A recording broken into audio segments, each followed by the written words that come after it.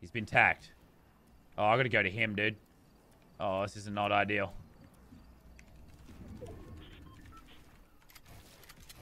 I, I don't know how to do this. Oh my god.